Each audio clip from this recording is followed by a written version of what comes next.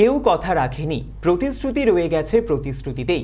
মেয়ের চিকিৎসার আশ্বাসের বন্যায় ভেসে যাওয়া বিভীষণ হাসদা আজও প্রতীক্ষার দিন গোনেন।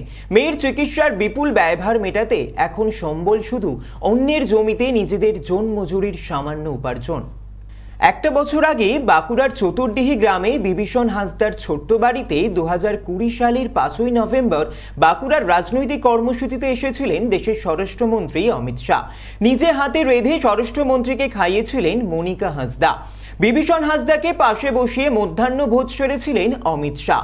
খাওয়ার ফাঁকে বিভীষণ অমিত শাহকে বলেছিলেন, মেয়ে, রচনা হাসদার কঠিন অসুখের কথা। প্রতি মাসে মেয়ের চিকিৎসার জন্য খরচ হয় পাঁচ হাজার টাকা। আশ্বাসও মিলেছিল। দিল্লির এইমসে নিয়ে গিয়ে চিকিৎসা করানোর। স্বরাষ্ট্রমন্ত্রী ফিরে যেতেই বিভীষণ হাসদাকে নিয়ে শুরু হয় রাজনৈতিক টানাপোড়েন। বিজেপি সাংসদ থেকে শুরু করে তৃণমূলের তৎকালীন মন্ত্রী সকলেই ঘন ঘন বিভীষণ হাসদার বাড়িতে গিয়ে তার পরিবারের পাশে থাকার ও মেয়ের চিকিৎসার ব্যাপারে যথাসম্ভব সাহায্যের প্রতিশ্রুতি দেন।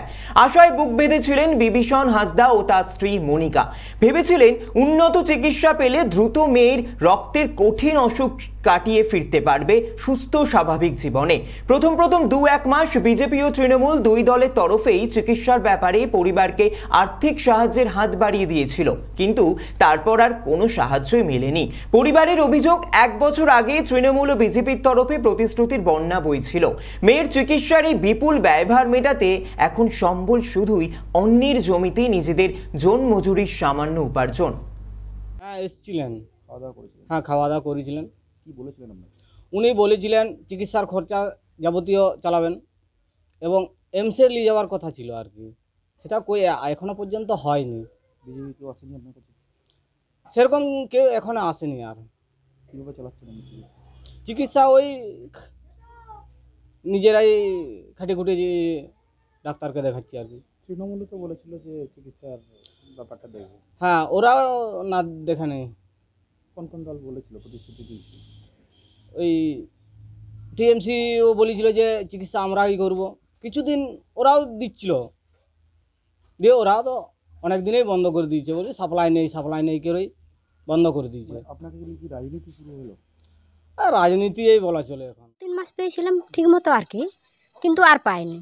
আর এখন কি কেউ সাহায্য করতে আসছে? না আসেনি কেউ। এখন কি যোগাযোগ কেউ করে আপনাদের সাথে? যোগাযোগ বলতে আপনার ওই কত কত তারিখে এসেছিলেন? ইয়ে সুভাষ সরকার এসেছিলেন মেয়েটাকে দেখতে, কিন্তু কই সে ব্যাপারে কিছু বললেন না। মানে আজ পর্যন্ত আর তারপরে কারও কোনো কারও কোনো পাত্তা নেই হ্যাঁ।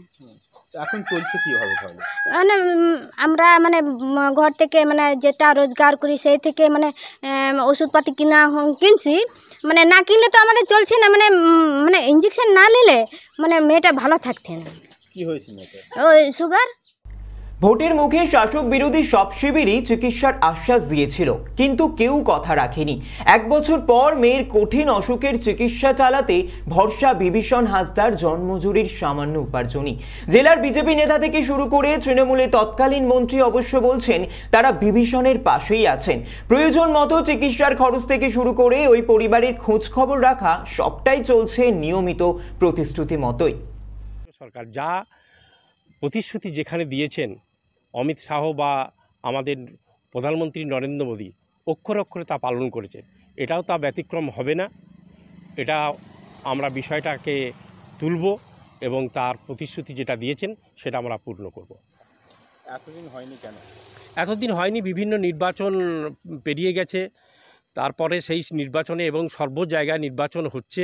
অমিত শাহজি সে একজন সর্বভারতীয় নেতা হয়তো ওনার মাথায় নেই। আমরা সেটাকে জানাব জানিয়ে সেটা নিঃসন্দেহে আমরা সেটা প্রতিশ্রুতি পূরণ করব। বললে ভুল হবে। কিছুদিন আগে আমাদের যে আদিবাসী দিবস পালিত হলো তখন আমি ওনার বাড়িতে গিয়েছিলাম।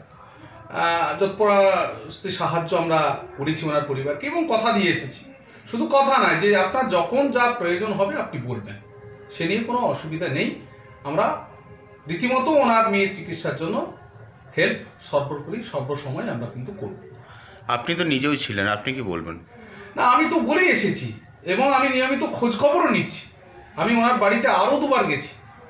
সুতরাং ওনার কোনো প্রবলেম হলে ওনাকে নির্দ্বিধায় ফোন করতে বলেছি। আমরা বাঁকুড়া শহরের কাছাকাছি রয়েছি। যে কোনো সময় ওনার বাড়ির কাছে চলে যাব এবং যেভাবে চিকিৎসা করা দরকার ওনার মেয়ে সেটা করব সেটা বলে এসেছি। বিজেপির সর্বভারতীয় সভাপতি এবং স্বরাষ্ট্রমন্ত্রী উনি গিয়েছিলেন গিয়ে নির্বাচনী প্রচার করার জন্য, গরিব মানুষের ভোট পাওয়ার জন্য গরিব দরদি সেজেছিলেন। পরবর্তী পর্যায়ে তৃণমূলের যিনি সভাপতি জেলার এবং রাজ্যের মন্ত্রী ছিলেন, শ্যামল সাঁতরা, তিনিও গিয়েছিলেন। দুটো দলই গরিব মানুষের ভোট পাওয়ার জন্য, গরিব মানুষকে বিভ্রান্ত করার জন্য তারা প্রচারটা করেছিল যে আমরা তার মেয়ের চিকিৎসার জন্য খরচা দেবো। কিন্তু দুটো দলই দেয়নি। সারা রাজ্য, সারা দেশে যেভাবে দুটি দল ঢম মেরে যাচ্ছে, এই গরিব মানুষের পরিবারটিকেও সেভাবেই তারা ঢপ মেরেছে। কারণ আমরা যাদেরকে সাহায্য করতে পারব যতটুকু, ততটুকুই করি, আমরা মানুষকে ঢম মারি না, এই দুটি দলের মতো। সিপিএম এর জেলা কমিটির সদস্য অসীম দাস বলেন, দুটো দলই ভোট পাবার জন্য প্রচার করেছিল, চিকিৎসার জন্য খরচ দেব। ওরা যেভাবে সারা দেশে মিথ্যা কথা বলে চলেছে, এই পরিবারকেও মিথ্যা কথার প্রতিশ্রুতি দিয়েছে। দু হাজার কুড়ি সালের পাঁচই নভেম্বর রাজনৈতিক কর্মসূত্রে বাঁকুড়ায় এসেছিলেন স্বরাষ্ট্রমন্ত্রী অমিত শাহ। আর সেই সময় বাঁকুড়ার চতুর্ডিহি গ্রামের বিভীষণ হাসতার বাড়িতে মধ্যাহ্ন ভোজন করেছিলেন এবং কথা দিয়েছিলেন তার মেয়ের চিকিৎসা করাবেন, ব্যবস্থা করবেন তিনি। পরবর্তী অবস্থায় ওই বাড়িতেই হাজির হয়েছিলেন বর্তমান শাসক দল তৃণমূল কংগ্রেস। একই প্রতিশ্রুতি তারাও দিয়েছিলেন। কিন্তু এক বছর পেরিয়ে যাওয়ার পর পরিবার সূত্রে জানা যায়, কোনো প্রতিশ্রুতি কিন্তু পালন করেনি দুই দলই। ভরসা সেই দিন মজুরের টাকাই তাহলে তো আমরা বলতেই পারি, প্রতিশ্রুতি তুমি কার? যখন ভোট আসে তখন কার? বাঁকুড়া থেকে ক্যামেরায় কল্পখাটির সাথে নবেন্দু হাটি চ্যান টোয়েন্টি ফোর বাই সেভেন।